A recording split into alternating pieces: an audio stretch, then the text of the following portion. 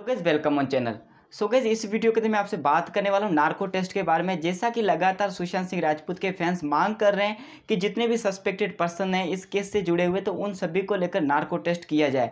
सो so guys इस video के अंदर आपको नार्को टेस्ट के बारे में पूरी इन्फॉर्मेशन मिलने वाली है। इसकी क्या कॉम्प्लिकेशन होती है, इसकी क्या पॉसिबिलिटीज़ होती हैं, सब कुछ आपको डिटेल्स में बताने वाला हूँ। लेकिन उससे पहले आपसे रिक्वेस्ट है कि प्लीज़ इस वीडियो को लाइक शेयर और चैनल को ज़रूर सब्सक्राइब कीजिएगा, क्योंकि हमें आपके सपोर्ट की बहुत ज़्यादा ज़रूरत है।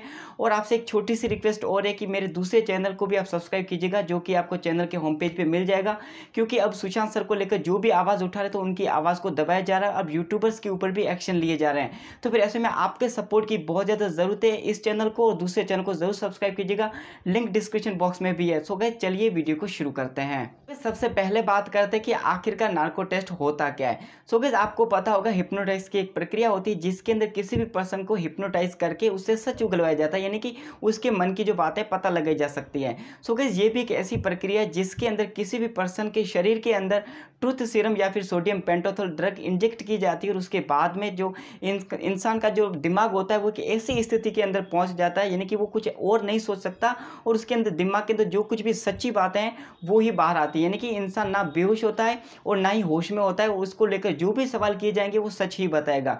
सो गैस इसी को लेकर सुशांत सिंह राजपूत के जितने भी फैंस हैं वो लगातार मांग कर रहे हैं कि नार्को टेस्ट किया जाए तो इसके बाद में ज़रूर जितने भी सस्पेक्टेड पर्सन है, जिनके ऊपर शक किया जा रहा है तो वो ज़रूर सच उगलेंगे। नार्को टेस्ट के बाद में 99.9 परसेंट केसेस के अंदर हर कोई सच ही बोलता है, लेकिन वन परसेंट या फिर ज़ीरो पॉइंट वन परसेंट ऐसे केसेस भी होते हैं, जो कि नार्को टेस्ट यानी कि ऐसी ड्रग इंजेक्ट करने के बाद में भी झूठ बोले, जिनका जो मेंटल एबिलिटी होती है, यानी कि मतलब जिनके ऊपर ड्रग जो असर नहीं करती सो गई इस केस के अंदर मतलब जो ज़्यादा जो चांसेस होते हैं, वो होते हैं कि सच ही बोला जाएगा, ठीक है? लेकिन कुछ जो होते हैं, वो एक अलग बात है, लेकिन अब जो फैंस मांग कर रहे तो फिर इसको लेकर जो नार्को टेस्ट किया भी जाना चाहिए और मैं भी मानता हूँ कि नार्को टेस्ट होना भी चाहिए, क्योंकि अगर किसी भी पर्सन के ऊपर शक किया जा रहा है, ठीक है? तो अगर वो सच्चा है और उसको वाकई में बताना है कि वो सच्चाई है लेकिन लोग उसके ऊपर भरोसा नहीं कर रहे हैं तो अपनी सच्चाई बताने के लिए वो नार्को टेस्ट करवा जा सकता है।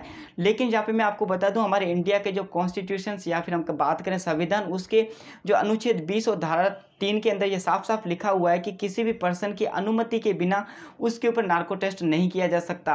और हमारे जो सुप्रीम कोर्ट है, उन्होंने भी लगभग 10 मई और 2010 के, यानी कि 2010 के अंदर ऐसा कहा था कि किसी भी पर्सन की अनुमति के बिना उसको लेकर नार्को टेस्ट ना किया जाए। यानी कि यहाँ पर ऐसी पॉसिबिलिटी है कि अगर उस व्यक्ति से पूछा जाए कि तुमको लेकर नार्को टेस्ट किया जाएगा। अगर उस पर्सन की सहमति होती है तो उसके बाद में नार्को टेस्ट किया जाएगा। सो गैस यहाँ पे मैं आपको बता दूँ, नार्को टेस्ट एक ऐसी प्रक्रिया होती है, जिसके अंदर किसी भी व्यक्ति के अंदर जो मतलब डोजेस की मात्रा थोड़ी सी भी ऊपर नीचे हो जाए ना तो उस वो पर्सन कोमा में भी जा सकता है, उसकी डेथ भी हो सकती है। इसलिए ये प्रोफेशनल की जो उपस्थिति के अंदर किया जाता है, जिसके अंदर जो साइकेस्ट्रिक या फिर डॉक्टर की टीम फार्मेसी टीम सभी अवेलेबल होते हैं पुलिस भी अवेलेबल होती है।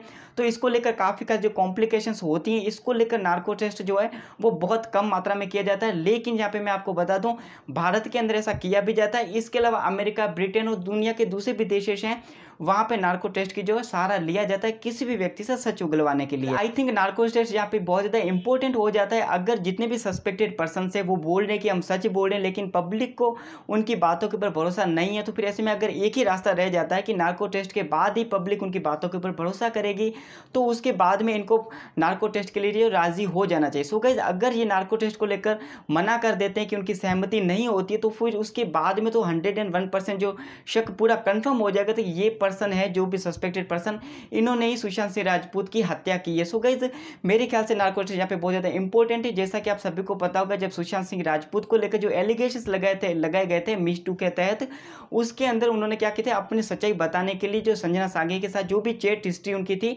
उनकी स्क्रीनशॉट उन्होंने पब्लिकली सबके सामने रखे थे, क्योंकि वो सच्चे थे। अगर ये भी पर्सन जो सच्चे हैं सस्पेक्टेड पर्सन वो कह रहे हैं कि हमारे इसके अंदर कोई भी हाथ नहीं है, वो बिल्कुल दूध से धुले हुए हैं तो फिर उनको ये नार्को टेस्ट के लिए राज़ी हो जाना चाहिए। सो गैस आपका क्या मानना है मुझे कमेंट सेक्शन में ज़रूर बताएगा और कमेंट सेक्शन के अंदर नार्को टेस्ट के बारे में आप ज़रूर बताएगा वीडियो को ज़्यादातर लाइक कीजिएगा और चैनल को ज़रूर सब्सक्राइब कीजिएगा, क्योंकि आपके सपोर्ट की हमें बहुत ज़्यादा ज़रूरत है सुशांत सिंह राजपूत को इंसाफ दिलवाने के लिए।